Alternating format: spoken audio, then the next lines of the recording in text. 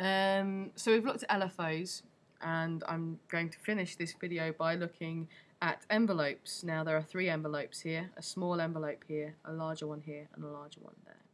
Now each envelope is different. Uh, they control different things. Um, the main one we tend to use is envelope 3, and you can read that. It says ENV3 vol. That basically means envelope 3 will control volume. No matter what you do, it's always going to control volume. Now we should have a really good understanding of attack, decay, sustain and release. So when we're talking in volume terms, if I just bypass this LFO unit, the attack controls how long a, a note takes to trigger. The decay controls how long it takes for a, a, sound to go from its highest volume to its constant volume. The sustain sets the parameter of that constant volume and the time um, controls how long that note takes to die away after you remove your hand from the keyboard.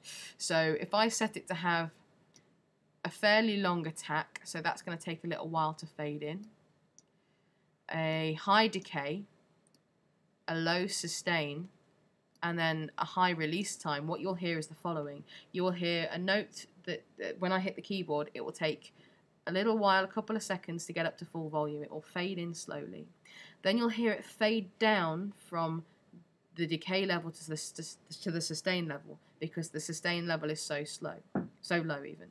And then when I let go of the key, over time you will hear the note die away. So if I press the key, you'll hear this.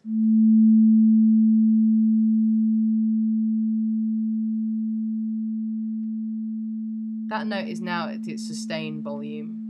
Uh, you heard it fade in, you heard it heard it fade down to this volume, And if I let go of the key, you'll hear a fade out. you should.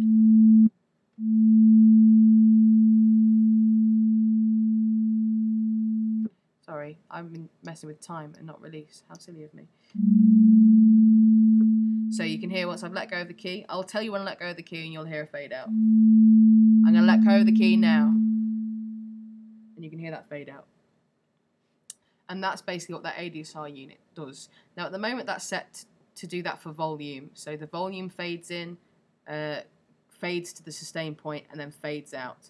But what we're going to do is I'm just going to switch all that off, and I'm going to allow you to hear that routed to something else. So I'm going to use envelope 2 because it's not routed to anything. I'm going to switch the pitch back on by hitting the little bypass button. And I'm going to set that to envelope 2. And basically what that means is that this will now control the pitch of our sound. So at the moment, it's gliding down at the moment. I'm going to change that. Uh, this should glide up. So my attack, instead of controlling volume, creates a pitch slide from original pitch.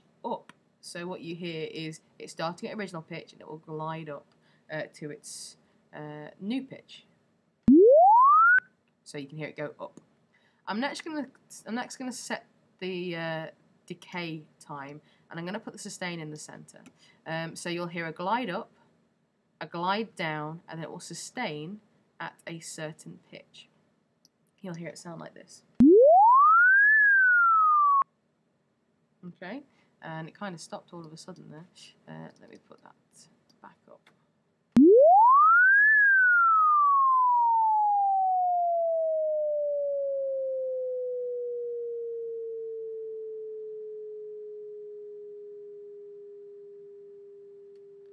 That's its sustain point right there. That's quite a low one. Now when I let go, you will hear a release. Although it's not really set to. Let me set the sustain a little higher.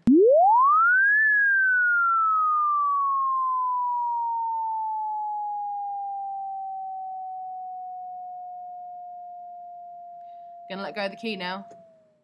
You can hear a slight glide as it releases. I'm going to turn the release up on the volume so that you can hear that happen over a long, longer period of time. Let's try that again.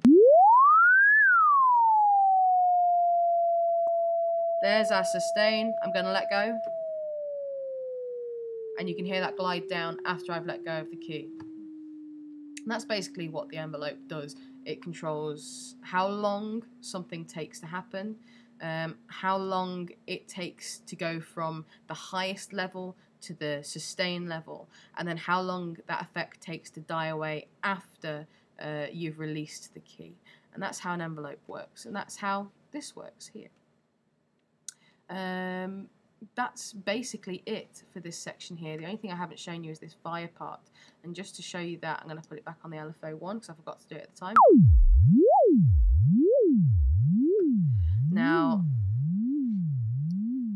The way this works, hold on, let me just make sure this is at zero. Um, the way this works is I can have this running via something else. So if I uh, attach this to uh, let's see my mod wheel on my keyboard, what you can see it does um, is it splits this arrow uh, into a red top part and a green bottom part. Now this allows us to split this and create a parameter. So if I set this to zero, what this means is when my mod wheel is off, when my mod wheel is turned down on my keyboard, um, hold on, it's not behaving very well. Let's try again. So when my mod wheel is set to zero at the bottom, which it is right now, and I hold down the key, the LFO isn't having any effect whatsoever. However, if I physically turn my mod wheel up on my keyboard, you will hear that LFO having more of an effect.